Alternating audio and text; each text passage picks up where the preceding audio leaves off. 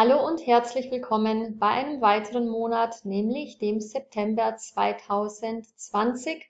Herzlich willkommen beim Monatshoroskop für den Aszendenten Widder. Bevor ich loslege, zwei wichtige Ankündigungen. Zum einen, wenn du deinen Aszendenten noch nicht kennst, dann bitte klick unterhalb dieses Videos in der Videobeschreibung auf den entsprechenden Link wo du erfährst, wie du ihn dir berechnen kannst. Zum Zweiten möchte ich dich einladen, im Monat September zum, naja, zum Sommerschlussverkauf, wenn du so möchtest, auf dem Sommermarkt. Auch dazu findest du einen Link unterhalb dieses Videos und auf diesem Sommermarkt im Sommerschlussverkauf gibt es verschiedene vedische Horoskope zu Aktionspreisen. Gut, dabei möchte ich es erstmal belassen. Mehr Infos findest du in der Videobeschreibung und dort kannst du dir das ja näher anschauen. Und jetzt starten wir mit dem Mars. Der Mars steht bei dir im Aszendenten. Der Aszendent, das bist du, das ist dein Körper, das ist dein Lebensweg. Und der Mars steht für deine Handlungen, steht für Aktionen, steht für deinen Mut, für deine Durchsetzungskraft. Und so investierst du deine Energie in diesem Monat entweder in deinen Körper, also dann auch in deine Gesundheit natürlich, wahrscheinlich in Form von Sport, denn der Mars steht für Sport, oder du hast Ziele, die deine Lebensausrichtung, deinen Lebensweg betreffen und diese kannst du nun besonders gut umsetzen. Du bist jetzt natürlich auch etwas mehr ich sag mal, kämpferisch im positiven Sinne unterwegs, du hast mehr Mut, du kannst dich mehr durchsetzen, ähm, ja, gehst vielleicht bestimmte gesunde Risiken ein und traust dich mehr, dir deinen Lebensweg zu gestalten oder investierst auch aufgrund deiner Disziplin, deines Fokus in deine Gesundheit und in deinen Körper, vor allen Dingen auch durch Sport. Dann sehe ich bei dir im dritten Haus, dort haben wir den Mondknoten Rahu. Das ist auch ein längeres Thema. Das wird dich noch eine ganze, ganze Weile begleiten. Und der Rahu im dritten Haus bringt ein Stück weit Unsicherheit und einen gewissen Stress mit den Bereichen des dritten Hauses. Er möchte dich aber auch anregen, dass du hier experimentierst, dass du dich ausprobierst, dass du dich mit verschiedenen privaten Interessen auseinandersetzt, dass du vielleicht an deiner Kommunikation noch arbeitest, an deiner Rhetorik. Ja, es kann auch Kurzreisen in die Fremde anzeigen. Rahu steht für das Ausland, das dritte Haus für Kurzreisen. Es kann auch einen gewissen Stress anzeigen mit jüngeren Geschwistern oder mit Menschen, die wie Brüder für dich sind. Mit Rahu in 3 möchtest du auf alle Fälle jetzt verschiedene Dinge ausprobieren und hier verschiedenes austesten, denn du hast ja in diesem Haus auch das Zeichen Zwillinge und das hat ja auch ähnliche Eigenschaften wie das dritte Haus. Dann komme ich zu der Venus. Die Venus befindet sich die, die, ja, ein paar Tage oder die erste Woche in etwa im September noch im Zeichen Krebs, aber die meiste Zeit des Monats ist sie im Löwen und damit bei dir im fünften Haus. Die Venus steht für alles, was Freude bereitet. Sie steht für die Hingabe. Sie steht für Beziehungen. Das fünfte Haus steht für Kinder, also eine bessere Beziehung jetzt mit Kindern oder deine, deinen Kindern geht es besser. Sie erfahren eine gewisse Freude. Das fünfte Haus steht aber auch für spirituelle Praktiken. Das heißt, du kannst dich jetzt mit Hingabe auch spirituellen Praktiken widmen. Und das fünfte Haus steht auch für deine Talente.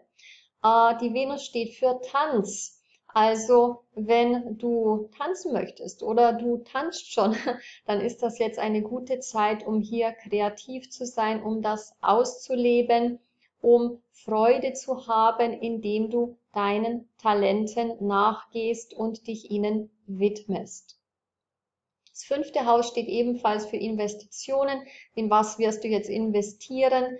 ja, entweder in ein Auto, die Venus steht auch für ein Auto, in Reisen oder in etwas, was Freude macht, ja, in einen gewissen Luxus. Die Venus repräsentiert ja die Annehmlichkeiten dieser Welt.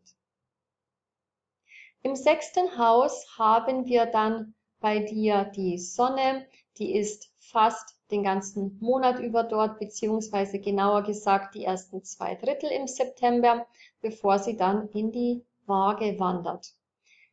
Die Sonne steht für deine Inspirationen, für deine Eingebungen in diesem Monat. Welche Bereiche betrifft das? Das betrifft die Themen, die mit dem sechsten Haus zu tun haben. Beim sechsten Haus geht es zum einen um deine Gesundheit, aber auch um deine tägliche Arbeit, wie du Verbesserungen in deinem Leben erzielen kannst. Es geht um deine Pflichten oder auch um das Thema Schulden. Und wenn du jetzt in diesen Bereichen Ideen hast oder Inspirationen hast, dann setze sie um. Des Weiteren hat die Sonne ähnliche Qualitäten wie das sechste Haus. Das sechste Haus steht für die tägliche Arbeit, die Sonne steht für die Karriere. Also ist es jetzt besonders gut, Ideen, die mit dem Beruf oder mit der Arbeit zu tun haben, in den ersten zwei Dritteln des Monats September umzusetzen. Das sechste Haus ist jedoch auch das Haus der Verzögerungen. Die Sonne steht für Autoritäten wie ein Vater, einen Chef, oder eben Regierungsstellen und hier im Kontakt, im Umgang mit Autoritäten oder Regierungsstellen kann es auch zu gewissen Herausforderungen kommen. Im siebten Haus haben wir bei dir fast den ganzen Monat den Merkur. Er ist zwar die erste Zeit noch etwas im sechsten Haus mit der Sonne, doch die meiste Zeit befindet er sich im siebten Haus. Das siebte Haus und der Merkur haben Ähnlichkeiten, inwiefern beide stehen für die Selbstständigkeit. Also an alle, die selbstständig tätig sind, das ist ein guter Monat, um dich zu zeigen, nach außen aufzutreten, Werbung zu machen, Marketing zu machen, zu kommunizieren. Denn wenn du dich nicht zeigst, tja, dann wird auch niemand wissen, was du anzubieten hast. Der Merkur steht aber auch für Fairness, äh, für Rechtschaffenheit. Und das siebte Haus steht für die Partnerschaft, für die Beziehung, für den Partner oder die Partnerin. Und so ist es auch eine gute Zeit, um hier fair miteinander umzugehen oder um auch bestimmte Themen klären zu können. Denn der Merkur repräsentiert ja ebenfalls die Kommunikation. Und das siebte Haus steht für Reisen, der Merkur steht für Kurzreisen, also auch ein guter Monat für dich, um zumindest Kurzreisen zu unternehmen. Das wird ja noch einmal unterstützt durch den Rahu im dritten Haus bei dir. Und so gehe ich weiter und sehe im neunten Haus den Mondknoten Ketu. Auch das ist etwas längeres, ein längeres Thema, so wie der Rahu auch. Der Ketu und das neunte Haus haben ebenfalls Ähnlichkeiten. Beide haben mit Spiritualität, mit Glauben, mit ja, Weisheit äh, zu tun. Und so kannst du dich jetzt auch intensiver Themen widmen, die mit dem Glauben zu tun haben oder mit einer bestimmten Lebensphilosophie oder du widmest dich einer Weisheitslehre, wie zum Beispiel auch der Astrologie, denn der Ketu ist auch der Planet, der ein Talent für die Astrologie, Astronomie und Mathematik gibt. Und das neunte Haus steht auch für Lernen, für Wissenserwerb, Weisheitserwerb, höheres Wissen zu erwerben. Also wenn du schon mal überlegt haben solltest, die Astrologie zu erlernen, ist es für dich eine gute Zeit mit dem Ketu in Haus 9. Im zehnten Haus haben wir bei dir die beiden großen Lehrer, zum einen den Jupiter, zum anderen den Saturn. Und beim Jupiter ist es so, weil beide sind die erste Hälfte im September rückläufig. Das bedeutet Themen des zehnten Hauses. Ich sage dir gleich, für was das zehnte Haus steht, die schon einmal da waren, die sich schon zeigten und noch nicht komplett abgearbeitet sind, sind in der ersten Hälfte vom September hier noch aktuell. Mitte September in etwa wird der Jupiter dann aber direktläufig. Der Saturn wird auch direktläufig, aber ganz, ganz am Ende vom September. Also ist Saturn sogar fast den ganzen Monat rückläufig im zehnten Haus. Aber was wollen die beiden großen Lehrer dir beibringen? Um welche Bereiche geht es? Auch das ist jetzt kein Thema nur für diesen Monat gewesen, sondern es hat dich im letzten Monat auch begleitet. Und im zehnten Haus geht es um deine Karriere, geht es um dein Ansehen, geht es um deinen Status, geht es um deinen Beruf. Hier sind also Themen noch offen. Hier gibt es noch etwas anzuschauen. Hier gibt es noch etwas zu klären oder etwas zu lernen.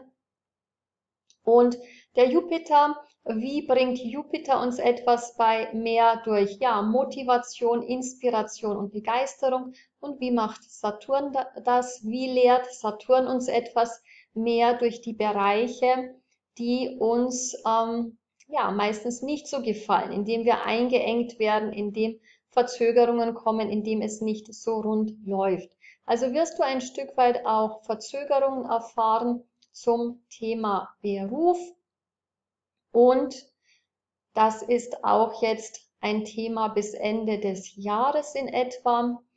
Die Verzögerung, die sich jetzt aber noch im September zeigen, das ist etwas, was schon vorher da war.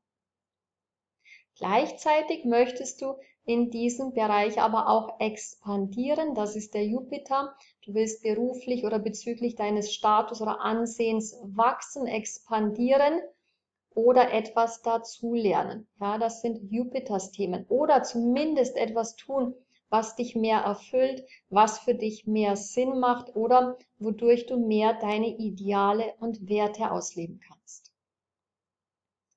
Gut, jetzt sind wir am Ende deines Monatshoroskops angekommen. Ich möchte dich noch einmal einladen, den Sommermarkt zu besuchen. Dort kannst du ein vedisches Horoskop deiner Wahl, welches auch immer dich interessieren mag, zu Aktionspreisen erwerben, solange dieser Sommermarkt geöffnet hat und das findet nur jetzt im September statt. Mehr Informationen dazu findest du unterhalb des Videos in der Videobeschreibung. In diesem Sinne, habe einen fantastischen Monat.